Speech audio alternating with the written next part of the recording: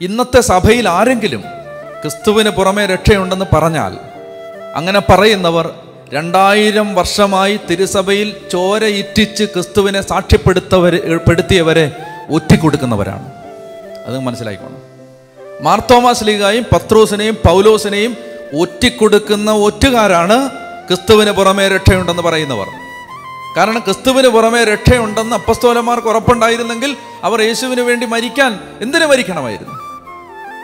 അപ്പം അതുകൊണ്ട് ഈ കാര്യത്തിൽ ഇന്ന് ഏറ്റവും കൂടുതൽ ഈ ഒന്നാം പ്രമാണ ലംഘനം നടക്കുന്നത് ക്രിസ്തുവിലൂടെ അല്ലാതെയും രക്ഷപ്പെടാം. സഭ ഒരിക്കലും അത് പഠിപ്പിച്ചിട്ടില്ല. തെറ്റിദ്ധാരണയാണ് അങ്ങനെ പഠിപ്പിച്ചിട്ടുണ്ടെന്ന് ആരെങ്കിലും ചിന്തിക്കുന്നുണ്ടെങ്കിൽ.